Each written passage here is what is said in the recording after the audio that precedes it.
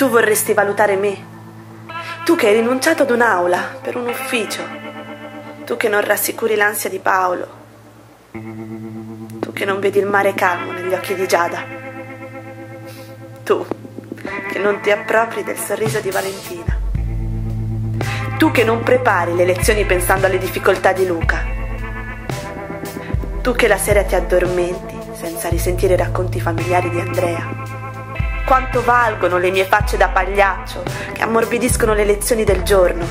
Quanti euro daresti alla mia pazienza e alla mia amorevole autorevolezza? Quanto ai miei rimproveri che non offendono? E come potrai quantificare in denaro le mie continue deviazioni dalla strada tracciata dalla lezione per avventurarsi nel vasto territorio della vita e riconoscere lì l'esistenza della lezione poco prima lasciata? Per favore, non usare su di me la tua unità di misura. Non provare a pesare la mia leggerezza o a stabilire la lunghezza della passione che nutro per l'insegnamento. Tu, che hai rinunciato ad un'aula per un ufficio. Proprio tu vorresti valutare me.